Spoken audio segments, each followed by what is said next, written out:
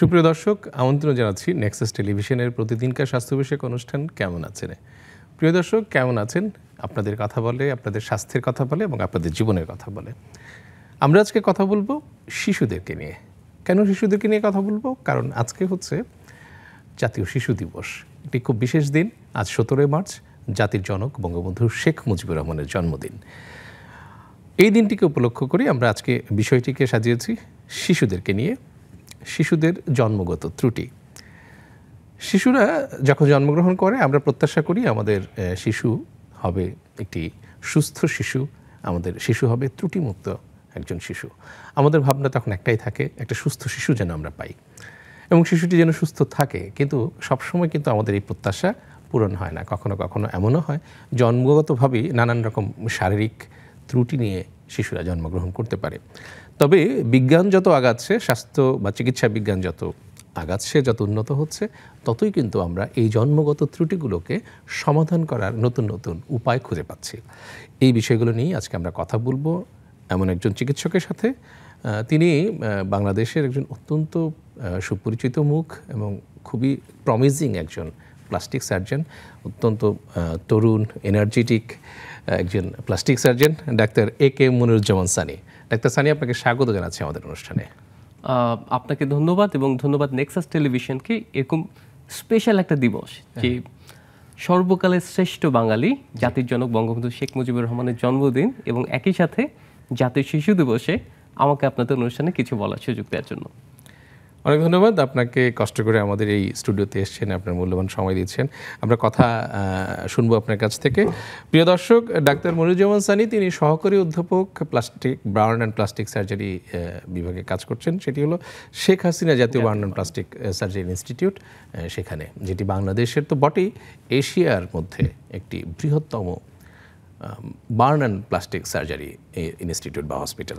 এবং সংখ্যার দিক থেকে পৃথিবীতে বৃহত্তম। এবং সংখ্যার দিক সংখ্যার দিক থেকে according to number of the patient number of the পৃথিবীতে বৃহত্তম। পৃথিবীর বৃহত্তম।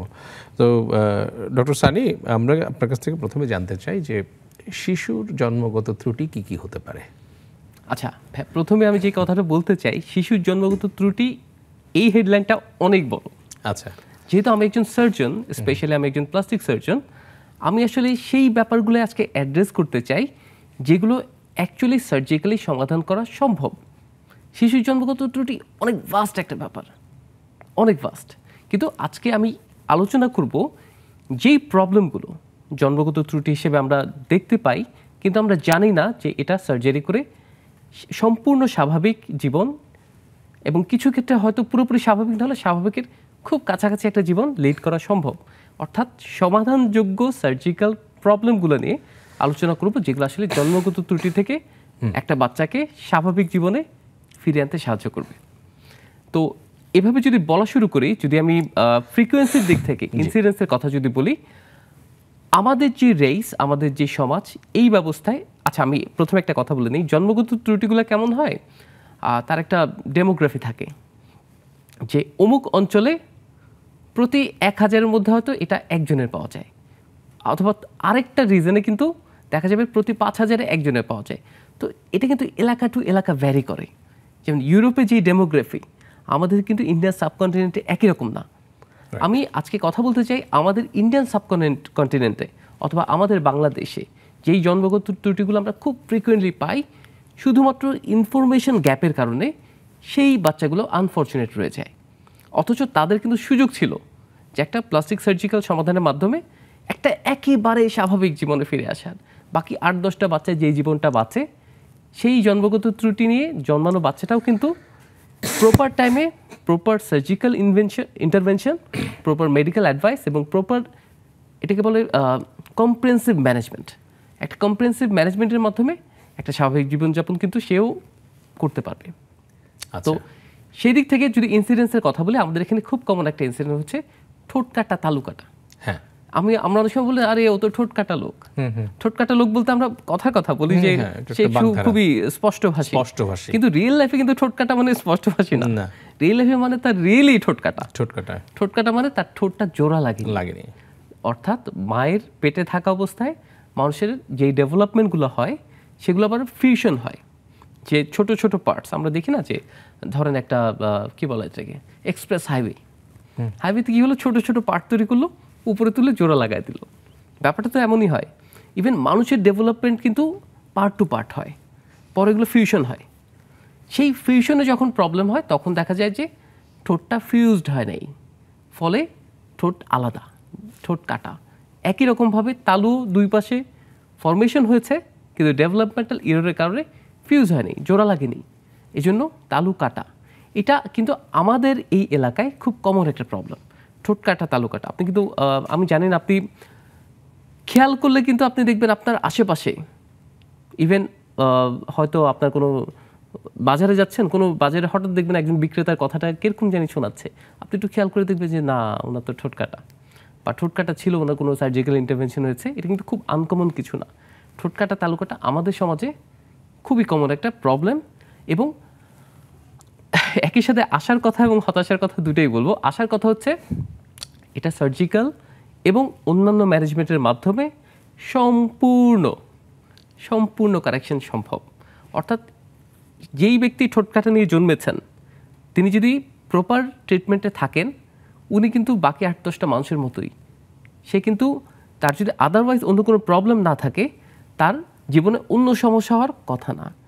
যদি প্রপার ইন্টারভেনশনগুলো প্রপার টাইমে হয় আর যেটা একটু কষ্টের কথা সেটা হচ্ছে এই চিকিৎসাটা অনেক দীর্ঘমেয়াদী। মানে উনি যখন থেকে জন্মালেন তখন থেকে তার অ্যাডভাইস যে শুরু শুরু হয় সেটা চলে ঠিক একুশ বছর পর্যন্ত। আচ্ছা।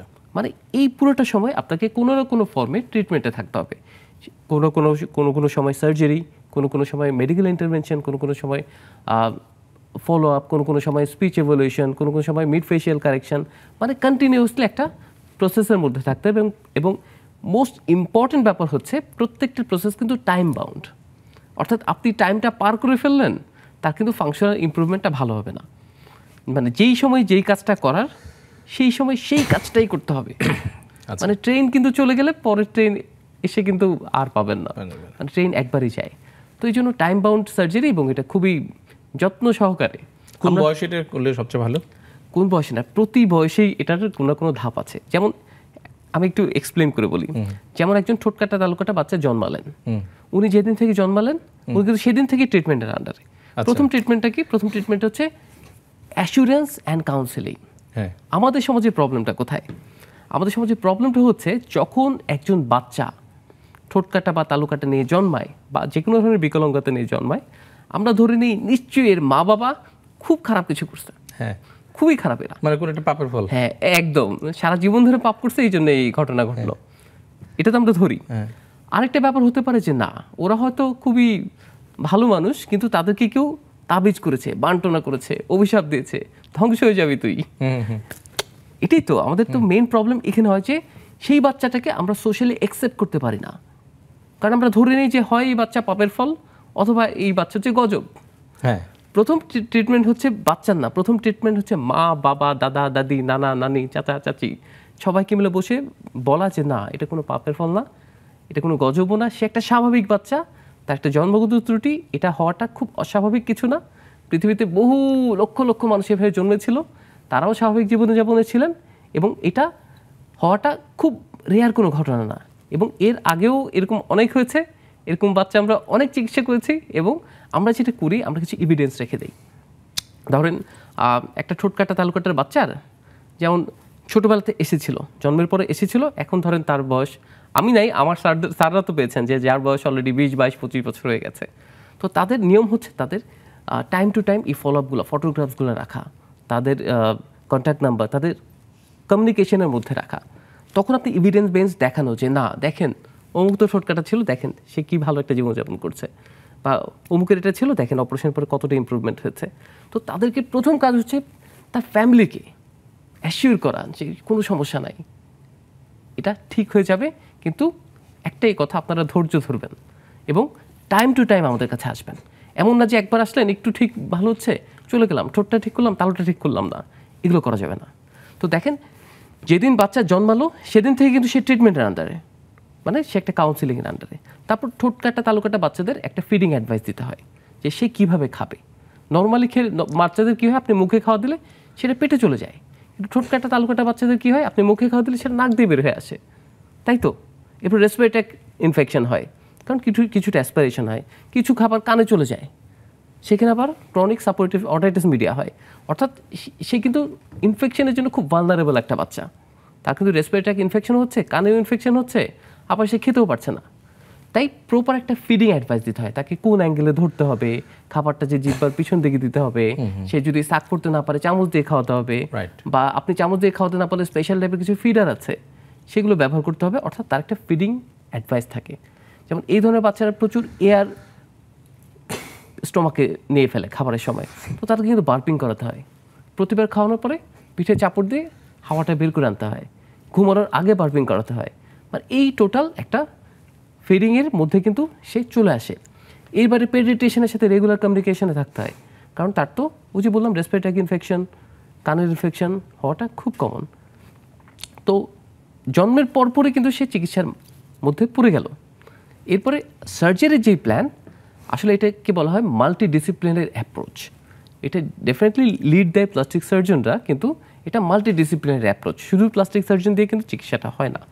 এখানে ধরেন পেডিটেশন লাগে অটো ইএনটি স্পেশালিস্ট লাগে অনেক ক্ষেত্রে অর্থোডন্টিক্সের সাহায্য নিতে হয়, অনেক ক্ষেত্রে স্পিচ ইভলিউশনের সাহায্য নিতে হয় স্পিচ থেরাপিস্টদের সাহায্য নিতে হয়। কিছু কিছু ক্ষেত্রে স্পেশাল ক্লেফট কেয়ার নার্স থাকেন। ওনারা জানেন যে বাচ্চাটাকে কীভাবে ডিল করতে হবে। এবং ইন্টারেস্টিংলি আরেকটা ব্যাপার হচ্ছে ক্লেফ বাচ্চাদের অ্যানসিসিয়াও কিন্তু স্পেশাল যার এই ক্লেফ বাচ্চা বা জন্মগত ত্রুটিতে অভিজ্ঞতা আছে। এই ধরনের মানুষই কিন্তু এই ধরনের বাচ্চার অজ্ঞানের অ্যানাস্থেশিয়া দেওয়া উচিত। আর এর বাইরে আরেকটি ইম্পর্টেন্ট ব্যাপার হচ্ছে সোশ্যাল ওয়ার্কার কিন্তু জরুরি। সোশ্যাল ওয়ার্কারের কাজটা কি? সে এই যে বললাম তাকে Awareness একসেপ্ট টা, করানো যে না এই বাচ্চা স্বাভাবিক বাচ্চা এই বাচ্চা আমাদেরই একজন। হ্যাঁ। এই বাচ্চা কোনো আপদ না। হ্যাঁ। এটা কিন্তু সোশ্যাল ওয়ার্কারের দায়িত্ব মানুষকে অ্যাওয়ার করা হ্যাঁ তাই সে জনে জনে গিয়ে বলবে যে কেন আপনি এরকম করছেন? ও তো ভালো বাচ্চা। বা এই এই তাকে যে এই কমিউনিকেশন বিল্ড আপ করা যে সে দেখে বলল যে না এটা কিন্তু সমাধান সম্ভব। চলেন হাসপাতালে নিয়ে যাই চলেন অমুক প্লাস্টিক সার্জনের কাছে নিয়ে যাই। আমরা কিন্তু দেখেছি যে এরকম অনেক ক্যাম্প করে করে কিন্তু ইয়ে ঠিক হ্যাঁ, করা আমি ওই ব্যাপারটা আসছি। চলেন শেখ হাসিনা জাতীয় ইনস্টিটিউটে চলে যায় আমি ডেফিনেটলি আমার হাসপাতালের কথাই বলব হ্যাঁ, হ্যাঁ। যে আমরা কিন্তু এটা প্রোভাইড করে থাকি শেখ হাসিনা জাতীয় বার্ন অ্যান্ড প্লাস্টিক সার্জারি ইনস্টিটিউটে এছাড়া প্রাইভেট প্রাইভেট সেট আপেও প্লাস্টিক সার্জনটা এটা ডিল করে। আর ক্যাম্পের ব্যাপারটা হচ্ছে ক্যাম্পগুলো অনেকগুলো ক্যাম্পই আছে। এগুলো বেসিক্যালি এনজিও ডিপেন্ডেন্ট। হয়তো কিছু ডোনেশনের উপর তারা রান করেন। সেটাতেও অনেকে করিয়ে থাকেন। এটা আসলে ইন্ডিভিজুয়ালাইজ ব্যাপার কে কোথায় করবেন। কিন্তু আমাদের শেখ হাসিনা জাতীয় ইনস্টিটিউটও কিন্তু আমরা খুব ভালো একটা কম্প্রিহেন্সিভ ক্লিপ কেয়ার দিয়ে থাকি। ইভেন প্লাস্টিক সার্জনটা প্রাইভেট সেট কিন্তু ক্লিপ কেয়ারটা দিয়ে থাকেন। তো এখন আসি সার্জিক্যাল ব্যাপারে। সার্জারিটা অ্যাকচুয়ালি শুরু হয় তিন মাসের পর থেকে। তিন মাসের আগে আমরা কিন্তু রিপেয়ার সার্জারি করি না। কিছু ডিভাইস ব্যবহার করা হয় যেমন টেপিং তারপর তারপর লিপ অ্যাডেশন অনেক ক্ষেত্রে করা হয়। মানে মাইনর কিছু প্রসিডিউর করা হয়। মেইন সার্জারি যেটা, সেটা প্রথম বড় সার্জারিটা শুরু হয় তিন মাসের পর থেকে, তিন থেকে ছয় মাসের ভিতরে। সেটাকে আমরা লিপটা রিপেয়ার করে দিই। এটাকে বলা হয় চিলোপ্লাস্টিক বা প্রাইমারি লিপ রিপেয়ার সেটা করার পরে দেখা যায় ছয় থেকে নয় মাসে বা চেষ্টা করে দশ মাসের মধ্যেই প্যালেটটা রিপেয়ার করে দিতে। যে তালুটা রিপেয়ার করে দেওয়া এই ঠোঁটকাটা এবং তালুকাটা মোটামুটি এক বছরের মধ্যে আপনার কমপ্লিট হয়ে গেল। কিন্তু তার কিন্তু ট্রিটমেন্ট কমপ্লিট হলো না। কারণ এরপরে তার তো অনেকগুলো স্টেপ পার করতে হবে। কারণ আপনি না হয় তালুটা রিপেয়ার করে দিলেন ঠিক টাইমে এরপরে দেখা গেল তার একটু স্পিচের সমস্যা। কেন? কারণ তার তো প্যালেট শর্টেনিং আছে। একটা মানুষ নর্মালি যেভাবে উচ্চারণ করে, সেটা সে নাও করতে পারে। ওটা আবার ইভালুয়েট করতে হয়। যে না, সে কি সত্যিকারের উচ্চারণ করতে পারে কি পারে না? যদি দেখা যায় যে না, যে শর্টেনিং আছে সেক্ষেত্রে আবার সার্জারি করে প্যালেটটাকে লেংদেনিং করতে হয়? যে না, এটা আপনার ফ্যারিংসে টাচ করে কিনা। অ্যানাটমিক্যাল স্ট্রাকচারগুলো রিপেয়ার করে আসতে হয়। যে লেংদেনিং করে না, এখন সে ঠিকমতো কথা বলতে পারবে। আবার তাকে কিছু স্পিচ ট্রেনিংয়ের মধ্যে দিয়ে যেতে হয়। কোন শব্দটা সে কীভাবে উচ্চারণ করবে? এরপরে দেখা যায় তার কিছু সেকেন্ডারি ডিফর্মিটি থাকে। আমি খুব ক্লিয়ারলি একটা কথা বলতে চাই যে যে কোনো সার্জারি মানেই সেই সার্জারিতে স্কার থাকবে। থাকবেই। স্কার ছাড়া পৃথিবীতে কোনো সার্জারি নাই। তো স্কার ইউজুয়ালি কন্ট্রাকশন হয়। কন্ট্রাকশন হয় আগলে লুকিং স্কার হয় ওয়াইডেনিং হয়, হতে পারে, কোনোটাই আনইউজুয়াল না। পরে ওই সেকেন্ডারি কারেকশনগুলো তাকে স্কুলে যাওয়ার আগে ঠিক করে দিতে হয়।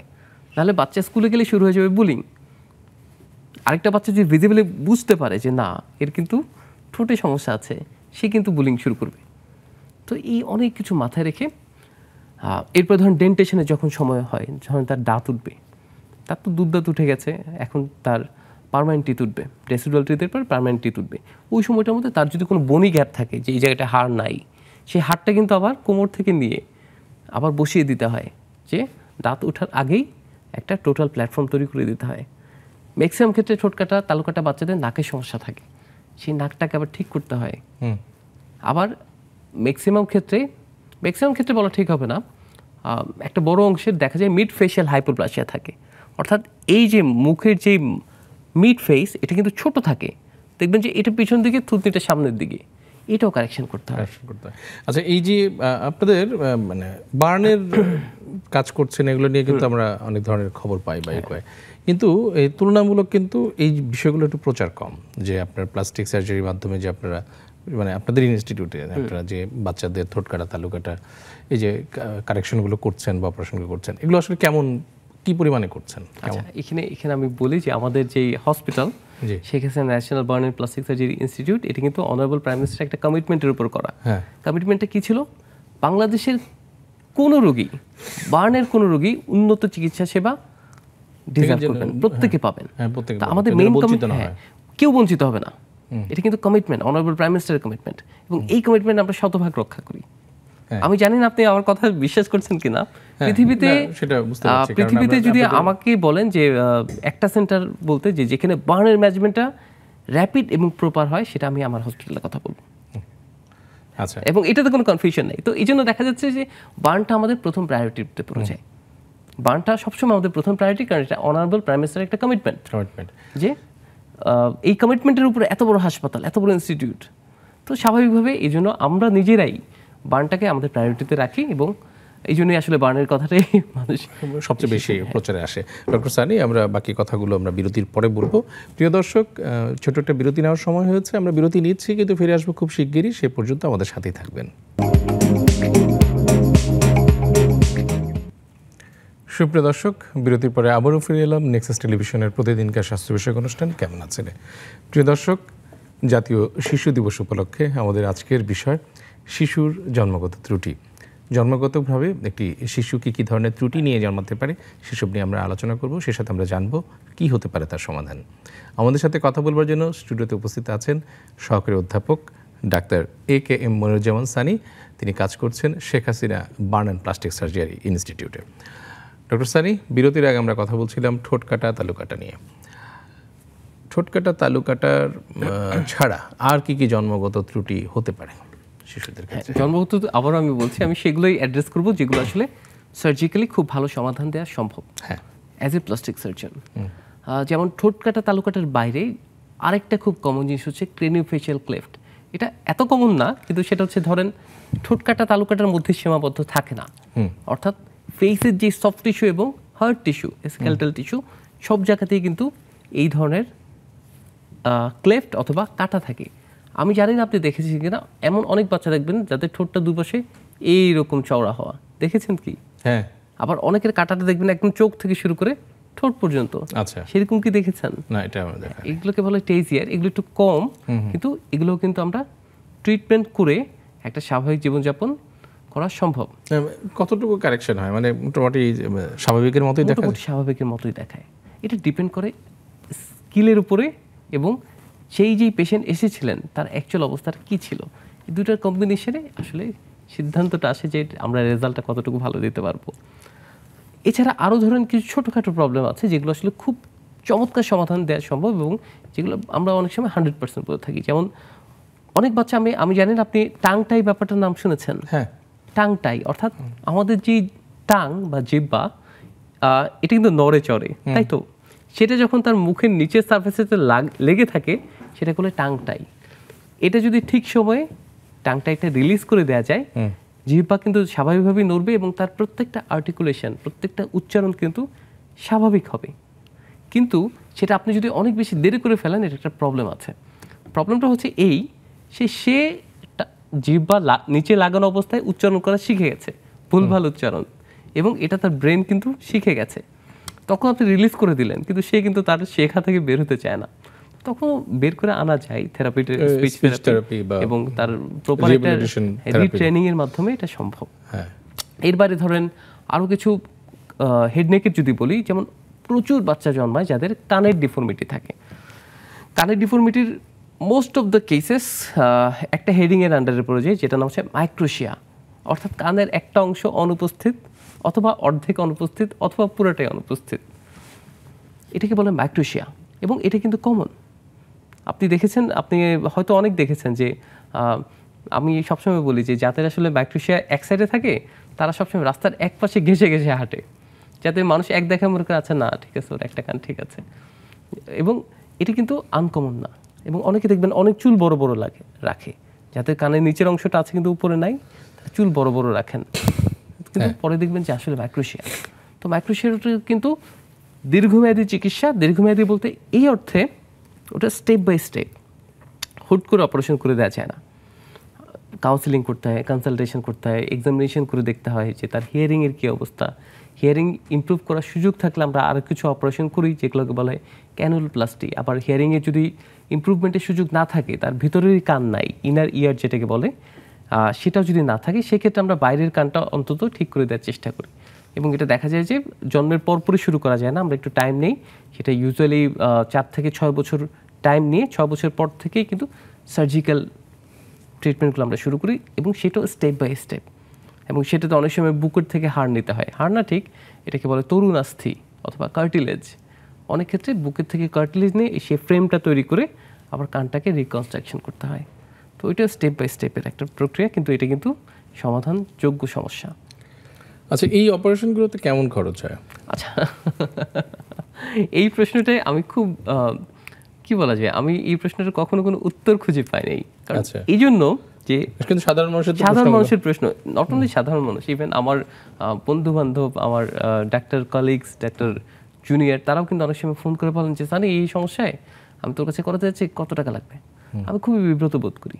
বিব্রত বোধ করি এই জন্য যে খরচটা আসলে কিন্তু খুব ভেরি মাচ ভ্যারিয়েবল যেমন ধরেন যদি আপনি আমাদের ইনস্টিটিউটের কথা বলেন শেখ হাসিনা জাতীয় ইনস্টিটিউট সেখানে কিন্তু আপনার কোনো খরচ লাগবে না।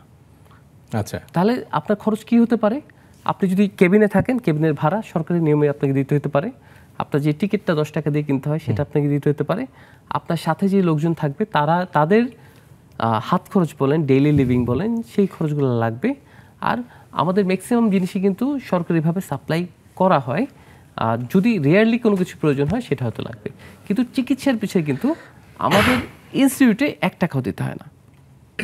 আর প্রাইভেট সেট যদি বলেন প্রাইভেট সেট ডিপেন্ড করে। ডিপেন্ড করে যেমন সার্জনকে যেমন আমি যেই পেমেন্ট নেই আমার শিক্ষক কিন্তু সেই পেমেন্ট নেন না। আবার আবার আমার ছাত্র কিন্তু সেই পেমেন্ট নেবে না। না। এটা এটা ভেরি মাচ ভ্যারিয়েবল আপনি আবার এরপর আপনি প্রাইভেট সেট কোন হাসপাতালে করাবেন? সেটার উপর ডিপেন্ড করে। অনেক হাসপাতাল আছে, অনেক এক্সপেন্সিভ আবার অনেক হাসপাতাল আছে মধ্যবিত্তদের জন্য সহনশীল। তো এটা খুব মানে এতটাই ভ্যারিয়েবল যে আপনি এক কথায় উত্তর দেওয়াটা খুব কঠিন। যেমন কিছু জিনিস থাকে না যে একটা ধারণা দিয়ে দেওয়া যায়। যেমন আপনি একজন মেডিসিন চিকিৎসকের কাছে গেলেন, উনি বললেন যে অ্যান্টিবায়োটিক দশ দিন খেতে হবে। উনি বলবেন যে, স্যার অ্যান্টিবায়োটিক দশ দিনের খরচ কেমন পড়বে? উনি কিন্তু একটা ধারণা দিতে পারবেন। কারণ এটা তো ফিক্সড প্রাইস কিন্তু এই সার্জারির কস্টটা ভেরি মাচ ভ্যারিয়েবল এবং এটা আসলে এক কথায় উত্তর দেওয়ার কোনো সুযোগই নাই। অনেক ধন্যবাদ আপনাকে। আমরা কয়েকটা জন্মগত ত্রুটির কথা জানলাম। আপনারা প্লাস্টিক সার্জন হিসেবে আর কি কি জন্মগত ত্রুটি ফেস করেন? আরও মানে আরও কিছু জন্মগত ত্রুটির মধ্যে আমরা যেটা খুব মানে খুব সাকসেসফুলি ট্রিট করি এটা হচ্ছে হাতের জন্মগত ত্রুটিগুলো। এর মধ্যে দেখেন একদম কমন থাকে একটা থাকে সিনড্যাকটাইলি সিনড্যাকটাইলি কি জিনিস? মানে আঙ্গুল জোড়া লাগা। করে। এটা এটা হতে পারে এই দুই আঙ্গুল হতে পারে। এটাই সবচেয়ে কমন এর বাইরে যে কোনো আঙ্গুলই জোড়া লাগতে পারে। এই যে আঙ্গুল জোড়া লাগা এটা কিন্তু ঠিক সময়ে সার্জারি করে শতভাগ হ্যান্ড ফাংশন করা ফিরিয়ে দেওয়া সম্ভব। কিন্তু কথা একটাই ঠিক সময়ে সার্জারি কেন আমি বলি? দেখেন আমাদের আমরা কি বলি হাতের পাঁচটা আঙ্গুল সমান না। আমরা কথায় কথায় বলি না যে আপনি আমাদের এক না কারণ আমাদের হাতের পাঁচটা আঙ্গুল তো সমান না। সমান না। অ্যাকচুয়ালি সমান না। তো কোনো কারণে যদি ধরেন এই ইন্ডেক্সটা তর্জনী এবং বৃদ্ধাঙ্গুলি যদি জোড়া লাগা থাকে তারা কি একসাথে বড় হতে পারবে? পারবে না তো। তার যেই হাইট আর তার হাইট তো সমান না। আবার ধরেন এই অনামিকা এবং লিটল ফিঙ্গার এই দুটো যদি জোড়া লাগা থাকে তারা কি একসাথে বড় হতে পারবে? পারবে না তো। তারা তো সমান না। তাই গ্রোথটা একটা ইম্পর্ট্যান্ট তার মানে এটা আসলে ঠিক টাইমে করতে হবে। আরেকটা ব্যাপার হচ্ছে কম্প্রেন্সিভ হ্যান্ড ফাংশন সেটা কি জিনিস? একটা বাচ্চা যখন হাতের কাজগুলো শিখে আপনি দেখবেন যে তিন বছরের বাচ্চা কিন্তু গ্রিপ করতে পারে।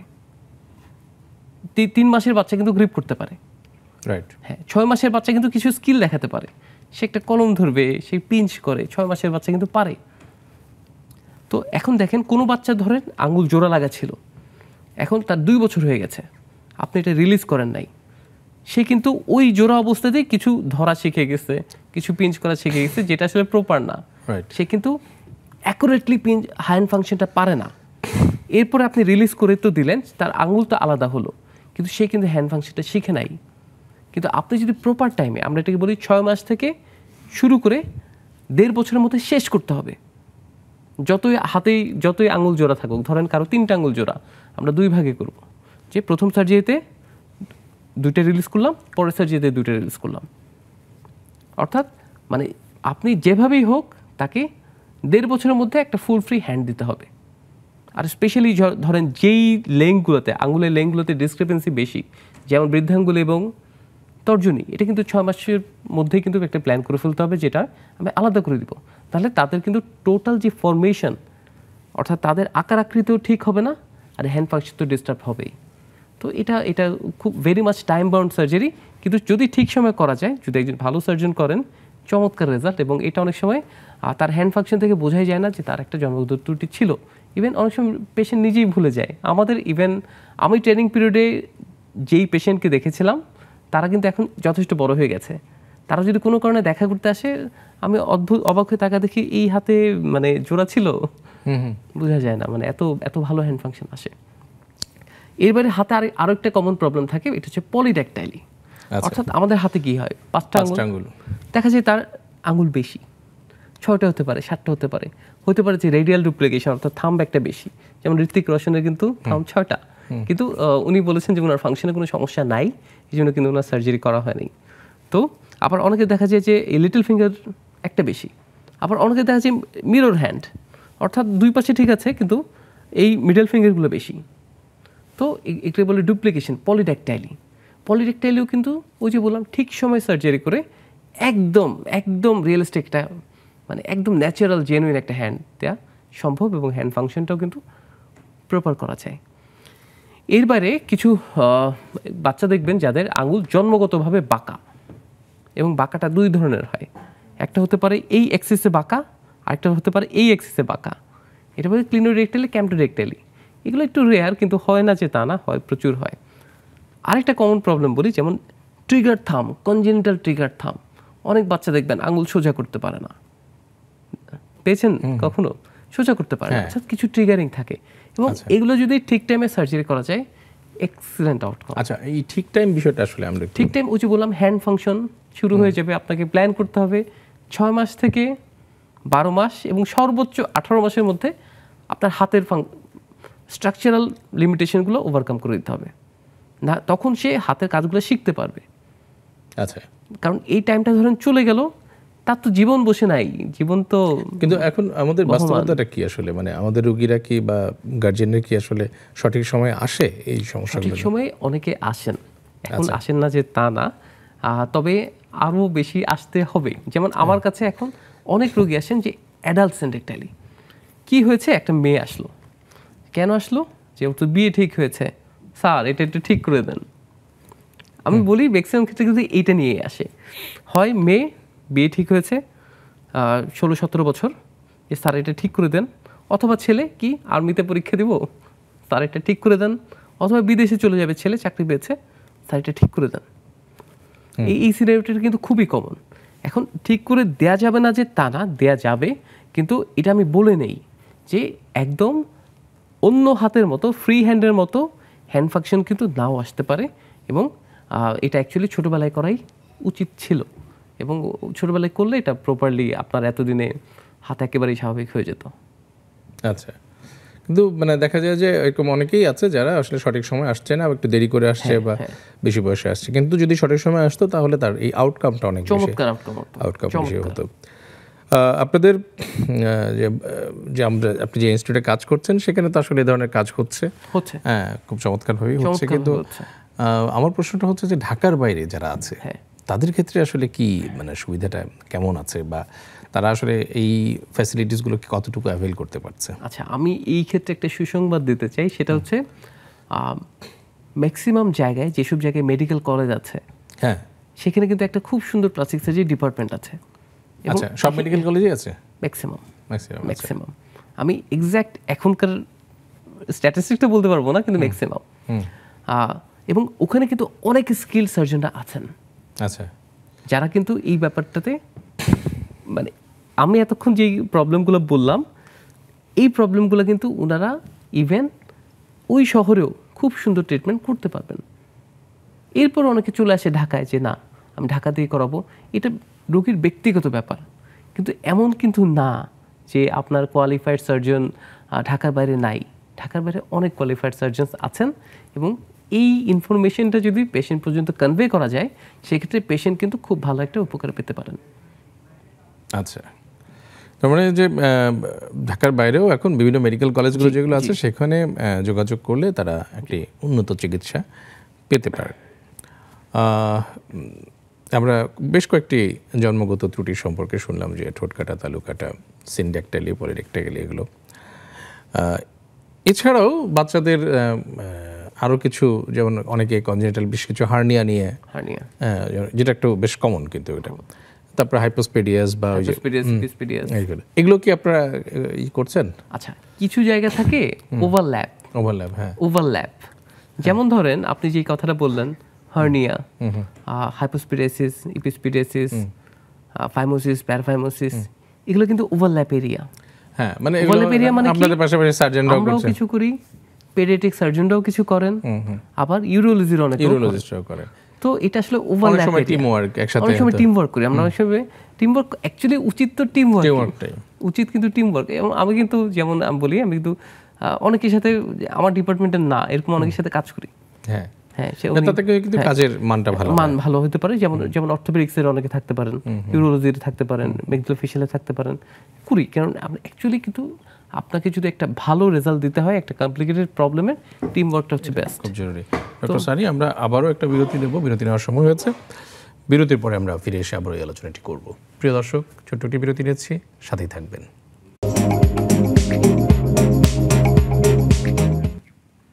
প্রিয় সুধী, বিরতির পরে আবারও ফিরে এলাম নেক্সাস টেলিভিশনের কেমন আছেন অনুষ্ঠানে? আমাদের আজকের এই অনুষ্ঠানের আলোচনার বিষয় সেটি হচ্ছে যে শিশুর জন্মগত ত্রুটি। এবং এই বিষয়টি নিয়ে কথা বলার জন্য আমাদের স্টুডিওতে উপস্থিত হয়েছেন আমাদের বাংলাদেশের শেখ হাসিনা জাতীয় বার্নন প্লাস্টিক সার্জারি ইনস্টিটিউটের সহকারী অধ্যাপক এবং অত্যন্ত পরিচিত মুখ আমাদের চিকিৎসক অঙ্গনের এবং it's very promising young plastic surgeon doctor Moniruzzaman Sunny A K Moniruzzaman Sunny, তিনি আছেন আমাদের সাথে। এবং আমরা কথা বলছিলাম শিশুর জন্মগত ত্রুটির বিভিন্ন দিকগুলো নিয়ে। ডক্টর সানি, আমরা আপনার কাছ থেকে যেটা জানতে চাই, সেটা হচ্ছে যে এই যে কিছু ত্রুটির কথা বলেন আরও হয়তো কিছু ত্রুটির কথা আমরা আলাপ করতে পারি যদি আমাদের হাতে সময় থাকে। আমি এই ফাঁকে একটু জানতে চাই যে এই জন্মগত ত্রুটিগুলো যে হয়, এগুলো কেন হয় এবং এগুলোকে আমরা কীভাবে প্রিভেন্ট করতে পারি? আচ্ছা প্রথম কথা হচ্ছে জন্মগত ত্রুটিগুলো আমরা এতক্ষণ যেগুলো বললাম। এই যে মায়ের গর্ভে একটা জাইগট থেকে কিন্তু এত বড় একটা হিউম্যান বডি তৈরি হয়। হ্যাঁ। তাই তো? এবং সেটারও কিন্তু বিভিন্ন পার্ট থাকে যে কোন পার্ট থেকে কি কি ডেভেলপ করবে এবং কোন সময়ে ডেভেলপ করবে। ম্যাক্সিমাম ক্ষেত্রে যেটা হয় যে পার্ট টু পার্ট ডেভেলপমেন্ট হয়ে ইন টোটাল বডির একটা ফিউশন হয় একটা ফর্মেশন হয়। মানে একটা টোটাল হিউম্যান বডি তৈরি হচ্ছে। অনেক সময় দেখা যায় যে দুইটা পার্টের মধ্যে যদি ফিউশন না হয়, সেক্ষেত্রে এই ক্লেফ টাইপের প্রবলেমগুলো হয়। এই যে ঠোঁট কাটা, তালু কাটার কথা বললাম, বা অনেক সময় স্পাইনে দেখবেন যে এটা বলে স্পাইন বাইফিডা হতে পারে। অনেক সময় দেখবেন ক্লেফট হ্যান্ড হাত দেখবেন এরকম অর্ধেক করা। মানে ফিউশনের প্রবলেম যেগুলো। আরেকটা প্রবলেম যে ডিফারেন্সিয়েশন মানে তার তৈরি হচ্ছে ঠিকই, কিন্তু তার আলাদা হচ্ছে না। ইভেন এটা কিন্তু আমি জানি না, আজকাল আপনারা খেয়াল করেছেন কিনা যে মনোজাইগোটিক টুইনের ক্ষেত্রে প্রচুর দেখবেন কনজুয়েন্ট টুইন মনোজাইগোটিক টুইনের ব্যাপারটা কি? তারা কিন্তু একটা জাইগোট থেকে তৈরি হচ্ছে দুইটা বাচ্চা। এবং তারা মধ্যে মধ্যে ডিফারেন্সিয়েশন হয় নাই। অর্থাৎ তার জোড়া লাগা দুইটা বাচ্চা। একইভাবে এই আঙ্গুলের জোড়া লাগাটা দেখেন অনেকটা কিন্তু কাছাকাছি আপনি রিলেট করতে পারবেন যে তারা ডিফারেন্সিয়েটেড হয় নাই। তাদের আলাদা হয়ে যাওয়ার কথা ছিল কিন্তু হয় নাই। আরেকটা হচ্ছে তা আরেকটা জন্মগত ত্রুটি হচ্ছে কি ফর্মেটিভ প্রবলেম সেটা হতে পারে ট্রান্সভার্স অ্যারেস্ট অর্থাৎ তার ট্রান্সভার্সভাবে যে গ্রোথ হওয়ার কথা ছিল সেটা হয় নাই। অনেক সময় হতে পারে লঙ্গিচুডিনাল অ্যারেস্ট লঙ্গিচুডিনালি যে গ্রোথ হওয়ার কথা ছিল সেটা হয় নাই। আবার অনেক সময় দেখবেন ডুপ্লিকেশন যে ওই পাঁচটা আঙ্গুল থাকার কথা সাতটা আঙ্গুল। আবার একটা, অনেক সময় দেখা যায় একটা লিম বেশি। অনেক সময় দেখবেন যে একটা এক্সেসরি ইয়ার দেখবেন। এগুলো কিন্তু মানে হয়। তো এগুলো সবগুলোই হচ্ছে, অথ- অথবা আবার অনেক সময় দেখা যায় যে ম্যাক্রো ম্যাক্রোডেক্টালি যেমন ধরেন একটা আঙুল যেই সাইজের হওয়ার কথা, তার চেয়ে অনেক বড়, দ্রুত বড় হচ্ছে। মানে এই ধরনের প্রবলেমগুলো কিন্তু ইন্টারইউটেরিন লাইফ থেকে শুরু হয়ে থাকে। আর যদি বলেন যে প্রিভেনশনের উপায় কী? এখন এটা আসলে মোস্টলি ইডিওপ্যাথিক কনজেটাল যে অ্যানোমালিগুলা মোস্টলি ইডিওপ্যাথিক অর্থাৎ আপনার এমন না যে এটা করলে হবেই না বা এমন করলে না যে এটা করলে হবেই। এর মাঝে কিছু রিস্ক ফ্যাক্টর আছে। অর্থাৎ বাচ্চা যখন পেটে ছিল তখন মায়ের যে কোনো কি কি ওষুধ খেতেন এটা কিন্তু খুব গুরুত্বপূর্ণ একটা বিষয়। এবং অনেক ধরনের ওষুধ কিন্তু এই সময় খাওয়া যাবে না। কারণ তখন এই প্রবলেমগুলো শুরু হবে যে হয় ডিফারেন্সিয়েশনের প্রবলেম হবে অথবা ফিউশনের প্রবলেম হবে। আবার ধরেন কিছু ইনফেকশন কিন্তু এই ধরনের জন্মগত ত্রুটির হারটা বাড়িয়ে দেয়। আবার ধরেন কিছু এক্সপোজার যেমন ধরেন রেডিয়েশন এক্সপোজার ছিল যে হ্যাঁ। পেটে বাচ্চা থাকা অবস্থায় বারবার এক্স রে করতে হয়েছে সিটি স্ক্যান করতে হয়েছে সেই ক্ষেত্রে রিস্কটা কিন্তু অনেক বেড়ে যায়। এবং অনেকের কিন্তু ঘুমের ওষুধ খাওয়ার অভ্যাস আছে। এটাও কিন্তু ভেরি মাচ রিস্কি মানে বাচ্চা পেটে থাকা হ্যাঁ বাচ্চা পেটে থাকা অবস্থায় ঘুমের ওষুধ খাওয়াটা একটু রিস্কি অনেকের দেখবেন অনেক কড়া ব্যথার ওষুধ খাওয়ার অভ্যাস আছে। তো ইন টোটাল এগুলো কিন্তু একটা সামারাইজ করতে হয় যে এই সময়টা উনি কীভাবে চলবেন। আর কিছু ওষুধ আছে যেটা আসলে জন্মগত ত্রুটির হারটা কমিয়ে দেয়। এর মধ্যে এক নম্বর যদি বলতে হবে বলতে হবে ফলিক অ্যাসিডের কথা। এবং আপনি আমি দেখবেন যে গাইনোকোলজিস্টটা কিন্তু ইনভেরিয়েবলি সবাই বলে দেন যে ফলিক অ্যাসিড খাবেন। হ্যাঁ ফলিক অ্যাসিড কমে গেলে হ্যাঁ হ্যাঁ। ফার্স্ট দেখা যায় যে টাইমিস্টারে কিন্তু ইনভেরিয়েবলি সবাইকে বলে দেন যে না ফলিক অ্যাসিড খাবেন। বিভিন্ন জিঙ্কের সাথে ফলিক অ্যাসিড আয়রনের সাথে ফলিক অ্যাসিড ফলিক অ্যাসিড খুবই গুরুত্বপূর্ণ। তখন এই রেটগুলো কমে আসে। আর আরও কিছু ব্যাপার ওই যেই রিস্ক ফ্যাক্টরগুলো আছে সেগুলো একটু খেয়াল রাখতে হবে। আর কিছু ব্যাপার আছে যেগুলো আপনার হাত নাই। সেটা কি জেনেটিক কিছু প্রবলেম আছে? হ্যাঁ তারা বংশগতভাবে এই প্রবলেমগুলো ক্যারি করে আসছে তাদের জিনে কিছু ব্যাপার আছে বাবা মায়ের বয়সের সাথে রিলেটেড কিছু ব্যাপার আছে বাবা মায়ের হ্যাবিটের সাথে রিলেটেড খাদ্যাভ্যাসের সাথে কোনো সম্পর্ক আছে? খাদ্যাভ্যাসের সাথে একদম প্রত্যক্ষ তেমন কোনো সম্পর্ক নাই তবে অবশ্যই খাদ্যাভ্যাসটাকে নিউট্রিশিয়াস ফুড খেতে হবে প্রচুর প্রোটিন খেতে হবে এবং পর্যাপ্ত পরিমাণে তরল খেতে হবে এটা খুবই জরুরি। শাকসবজি শাকসবজি, ভিটামিন, যেন। একটু বেশি পায় ভিটামিন যাতে বেশি পায়। রাইট আমরা অনেক গুরুত্বপূর্ণ বেশ কিছু তথ্য জানলাম এবং এই যে প্রিভেনশন এটা তো আসলে আমাদের জন্য খুব জরুরি। কি করলে ইন্টারেস্টিং ব্যাপার হচ্ছে যে ডাব্লিউএইচও যে গাইডলাইন হ্যাঁ। সেটা কিন্তু মিনিমাম বলে যে আপনাকে মিনিমাম চারবার ইভ্যালুয়েশনে আসতে হবে এন্টিনেটাল চেক আপে আসতে হবে হ্যাঁ। ডাব্লিউএইচও কেয়ারে বলে কিন্তু অ্যাকচুয়ালি আমরা কিন্তু আরেকটু বেশি বলি যে আপনি যদি প্রপার মেডিকেল গাইডলাইন বলেন আরেকটু বেশি বলা হয়। এবং সোনোগ্রাফির কিন্তু টাইম থাকে যে কত সপ্তাহে কত সপ্তাহে সোনোগ্রাফি করবেন। ইউজুয়ালি দেখা যায় বিশ বা বাইশ সপ্তাহ পরে যে সোনোগ্রাফিটা করা হয় সেটাতে কিন্তু আইডেন্টিফাই করা যায় বেশিরভাগ জন্মগত ত্রুটি। যেগুলো গ্রস বড় ধরনের জন্মগত ত্রুটি সেটা কিন্তু দেখা যায় বাইশ সপ্তাহ পরের সোনোগ্রাফিতে বোঝা যায়। এবং সেই অনুযায়ী কিন্তু প্রিপারেশনটা নিতে হতে পারে যে হ্যাঁ ঠিকই আছে বাচ্চার এই সমস্যা থাকতে পারে। আমাকে এইভাবে এখন থেকেই চিন্তা করতে হবে যে আমি তার চিকিৎসার পরিকল্পনাটা কীরকম করব। অনেক ধন্যবাদ আপনাকে ডক্টর সানি। আর কি কি ত্রুটি জন্মগত ত্রুটি আমরা আচ্ছা জন্মগত ত্রুটির মধ্যে কয়েকটা ব্যাপার আমি একটু অবশ্যই বলতে চাই যেটা আসলে সার্জিক্যালি সমাধান। প্রয়োজন হবে এবং লাগবে। যেমন ধরেন অনেক জায়গায় দেখা যায় ভাস্কুলার কিছু প্রবলেম থাকে। আচ্ছা। যেমন একটা বাচ্চা জন্মেছে তার এখানে দেখবেন লাল হয়ে আছে। এবং এটা হতে পারে ভাস্কুলার টিউমার অথবা ভাস্কুলার অ্যানোমালি আচ্ছা। দুইটাই কিন্তু চিকিৎসার মধ্যে থাকতে হবে। অথবা এটা যে কোনো সময় ব্লিডিং শুরু হতে পারে। আপনাদের কাছে খুব আসে হ্যাঁ খুব আসে। খুব আসে। আচ্ছা। খুব আসে এবং এটা নিরাময়যোগ্য। আচ্ছা। এবং আবার অনেক সময় থাকে নিউরোফাইব্রোমা যে তার একটা লিম্বে, একটা মুখে যে কোনো জায়গায় বডির যে কোনো পার্টে যেখানে কিউটিনাস নার্ভ আছে, সেই নার্ভের আশেপাশে তার একটা জোন ব্ল্যাকিশ হয়ে যাচ্ছে বা দ্রুত বড় হচ্ছে টিউমারের মতো ফুলে উঠছে, এগুলো কিন্তু খুবই গুরুত্ব সহকারে অ্যাড্রেস করতে হবে। এখন কথা হতে পারে যে এটা আমরা কি কখন সার্জারি করব? সার্জারি কখন করব সেটার চেয়ে জরুরি হচ্ছে আপনি কন্টিনিউয়াসলি মনিটরিংয়ের উপর আছেন কিনা। যেমন ধরেন একটা ভাস্কুলার টিউমার এটা অনেক সময় ভাস্কুলার টিউমার যেটাকে যেটা আমরা কমনলি যেটা পাওয়া যায় যেমন হেমানজিওমাটা খুব কমন ভাস্কুলার টিউমারের মধ্যে। এটা কিন্তু ওষুধের মাধ্যমে দেখা যায় যে এক বছর থেকে এক বছরের পর থেকে কমা শুরু হয় সাত আট বছরের মধ্যে অনেক কমে যায় এবং অনেক ক্ষেত্রে সার্জারি লাগে না। আচ্ছা নিজে নিজে হ্যাঁ কনজারভেটিভ ম্যানেজমেন্টে হেমানজিওমা যেটা ম্যানেজ করা সম্ভব। ওষুধ দেন হ্যাঁ আমরা আমরা কিছু ওষুধ ইউজ করি। আচ্ছা আচ্ছা। এটা বিটা ব্লকার থেকে শুরু করে স্টেরয়েড পর্যন্ত আমরা বিভিন্ন রেজিমেনে বাচ্চার বডি ওয়েটের সাথে কম্বাইন করে আমরা কিছু কনজারভেটিভ ম্যানেজমেন্ট করি। এবং অনেক ক্ষেত্রে কিন্তু সার্জারি লাগে না।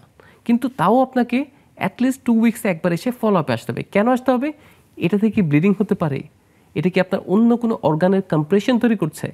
এটা কি আপনার ন্যাচারাল যে অরিফিস যেমন চোখের পাতা, মুখ, নাক, কান এগুলোকে কোনো ধরনের অবস্ট্রাকশন তৈরি করছে? কারণ ছোট একটা বাচ্চার যখন এই অরিফিসগুলোতে অবস্ট্রাকশন হবে, তার কিন্তু ডিপ্রাইভেশন শুরু হয়ে যায়। সে কিন্তু চোখে দেখবে না। কারণ চোখে তার প্রপারলি আলো যায় নাই। যে আলোটা যাওয়ার কথা ছিল সে কানে শুনবে না কারণ তার কানে সেই শব্দটা যায়ই নাই। তো আলটিমেটলি যেইটার ভাস্কুলার টিউমার যার সার্জারি লাগবে না তারও কেউ কিন্তু কন্টিনিউয়াস ফলো আপে থাকতে হয়। ডক্টর সানি আমাদের সাথে একজন দর্শক আছেন আমরা দর্শকের ফোনটা নিচ্ছি। প্রিয় দর্শক কে আছেন আমাদের সাথে আপনার পরিচয়টি বলুন। ভাইয়া আসসালামু আলাইকুম। ওয়ালাইকুম আসসালাম। আমি চিটাগাং থেকে বলছিলাম পটিয়ে থেকে। জি বলুন। আমার দুইটা বেবি আগে ছিল ওরা স্বাভাবিক আছে কিন্তু তৃতীয় নম্বর বেবিটা ছেলে বাবু ও ডাউন সিনড্রোম আচ্ছা। ডাউন সিনড্রোম জন্মগত হয়ে আসছিল আর কি। আচ্ছা। অন- এই বিষয়ে আমি বিস্তারিত জানতে যে ও স্বাভাবিকভাবে বড় হচ্ছে না অন্য আমার আগের বাচ্চাগুলোর মতো। দাঁতগুলো ঠিক মতো উঠে না খাওয়া দাওয়া ঠিক মতো ধরতে পারে না কিছু হাঁটা এখনও তিন বছর আপ হয়ে গেছে কিন্তু এখনও হাঁটা সে হাঁটতে পারে না। ওকে তারপর ওর হার্টে ছিদ্র ছিল ওটা কনজেনিটাল হার্ট ডিজিজ যেটাকে বলে ওটা আমার ল্যাবের থেকে আবার হার্ট ডিবেট পরে আনছি ইদানিং। তবে ওর স্বাভাবিক হচ্ছে নাকি? এটা কি এভাবে থাকবে তার জীবনটা? এভাবে যাবে? আর ও কি স্বাভাবিক জীবন ফিরে ফিরে আসতে পারবে? তার সাংসারিক জীবন কি আসতে পারবে? এই ধরনের বাচ্চারা। আচ্ছা আপনাকে অনেক ধন্যবাদ আপনার প্রশ্নের জন্য ডক্টর সানি। ধন্যবাদ। আপনাকে। আপনি পটিয়া থেকে ফোন করেছেন। এবং চিটংয়ের লোকজনকে আমার খুব ভালো লাগে। আপনার ফোনটা পেয়ে ভালো লাগল, কিন্তু আমি আপনাকে একটু আশ্বস্ত করতে চাই এই ব্যাপারে যে আসলে ডাউন সিনড্রোম কোনো স্পেসিফিক সার্জিক্যাল সমাধানের কিন্তু ব্যাপার না। ব্যাপারটা হচ্ছে আপনাকে এখন থেকেই একজন শিশু বিশেষজ্ঞ অথবা পেডিয়াট্রিক নিউরোমেডিসিনের স্পেশালিস্ট কারও আন্ডারে কনসালটেশনে থাকতে হবে। আর এটাও সত্যি না যে ডাউন সিনড্রোমের হওয়া মানে জীবনটা একদম নষ্ট হয়ে যাওয়া ব্যাপারটা কিন্তু তা না। পৃথিবীতে এমন অনেক মানুষ আছেন যারা ডাউন সিনড্রোম নিয়েও জীবনে অনেক ভালো করেছেন। আপনাদের জন্য আমার সবসময় শুভকামনা, কিন্তু আপনাদের স্পেসিফিক কোনো সার্জিক্যাল প্রবলেম না থাকায় আসলে আমি এই মুহূর্তে আপনাকে কোনো সহজ সমাধান দিতে পারছি না। কিন্তু আপনি অবশ্যই একজন শিশু বিশেষজ্ঞ এবং একজন নিউরোমেডিসিন স্পেশালিস্টের আন্ডারে সবসময় মনিটরিংয়ের মধ্যে থাকবে এই বাচ্চা। ধন্যবাদ আপনাকে। অনেক ধন্যবাদ ডক্টর সানি। আসলে ডাউন সিনড্রোম তো মানে এমন একটি রোগ যেটি আমাদের বিভিন্ন অংশে। শরীরের বিভিন্ন অংশে তার প্রভাব থাকে এবং এর ধরনের মানুষদেরকে সারা জীবনে বিভিন্ন ধরনের ট্রিটমেন্টের ভিতর দিয়ে এবং রিহেবিলিটেশন তাদের আলাদা স্কুল তাদের আলাদা ট্রেনিং এবং এবং ডাউন সিনড্রোম নিয়ে কিন্তু অনেকে অনেক ভালো করেছে। হ্যাঁ করছে। এরকম আমি অনেক এক্সাম্পল কিন্তু এখন দেখি যে আচ্ছা। এবং তাদের বিশেষায়িত কিছু স্কুল আছে সেখানে তারা শিখছে। তারপরে এখন অনেক সামাজিক মাধ্যমে দেখছি। তাদের তারা নাচ করছে তারা ইয়ে করছে ডাউন এবং তাদের তো আরও যে কনজেনিটাল হার্ট ডিজিজ বা এইগুলো আচ্ছা এই থাকে। ক্ষেত্রে আমি খুব গুরুত্ব সহকারে একটা কথা বলতে চাই যে আমি জানি না আপনি দেখেছেন কিনা যে আজকাল শিশু সার্জারির ক্ষেত্রে ইভেন সার্কামসেশনের ক্ষেত্রেও কিন্তু অনেক অ্যাক্সিডেন্টের কথা চলে আসে। এই কথাটা আমি গুরুত্ব দিয়ে বলতে চাই যে আমি আসলে এটা বলার বলতে চাচ্ছিলাম অনেকদিন ধরেই। যে অ্যানাস্থেটিক হ্যাজার্ড হচ্ছে তাই তো? কিন্তু এটা হয় কি যে যাদের জন্মগত ত্রুটি থাকে হ্যাঁ। সেই জন্মগত ত্রুটি কিন্তু সাধারণত সাথে কাউকে নিয়ে আসে আত্মীয় স্বজন যেমন যার ধরেন আঙ্গুলের সমস্যা গিয়ে দেখবেন তার হার্টে একটা ফুটা আছে। হার্টের মাঝখানে যে পর্দা থাকে পর্দা একটা ফুটা আছে। এবং সবগুলো কিন্তু আসলে ওভাবে এভালুয়েট করা হয় হ্যাঁ হ্যাঁ যার ধরেন তালুকাটা তার হার্টে দেখবেন একটা ফুটা আছে। যার জন্মের পর দেখলেন ঠোঁট কাটা। তার দেখবেন পায়ের পথে ছিদ্র সমস্যা আছে। হ্যাঁ। তো এগুলো আসলে খুব ভালো একটা ইভলিউশন। এবং সার্জারির আগে যেটা জরুরি সেটা হচ্ছে কার্ডিয়াক ইভলিউশনটা অনেক ধন্যবাদ ডক্টর সানি আমাদের নির্ধারিত সময় শেষের দিকে আমাদেরকে শেষ করতে হচ্ছে। আপনাকে অনেক ধন্যবাদ। আপনার মূল্যবান সময় থেকে ব্যস্ত সময় থেকে আমাদেরকে সময় দিয়েছেন সেই জন্য আশা করছি যে আমরা পরবর্তীতে আবারও কোনো একদিন আপনার সাথে আবার এই বিষয়গুলো নিয়ে কথা বলব। সেদিন আরও আলোচনা করা যাবে। আপনাকেও ধন্যবাদ এবং ধন্যবাদ নেক্সাস টেলিভিশনকে প্রিয় দর্শক এই ছিল আমাদের আজকের আয়োজন। শেষ করতে হচ্ছে আগামী অনুষ্ঠান দিবার আমন্ত্রণ জানিয়ে বিদায় নিচ্ছি। শুভরাত্রি।